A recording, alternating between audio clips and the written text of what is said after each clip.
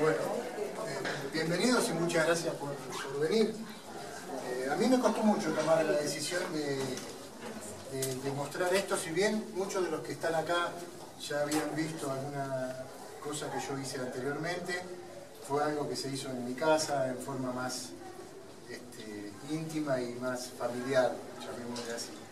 Es decir, tomar la decisión de exponer lo que lo que hago al público en un lugar público, valga la redundancia, me costó mucho hacerlo. Pero realmente me siento muy, muy emocionado y muy... Este,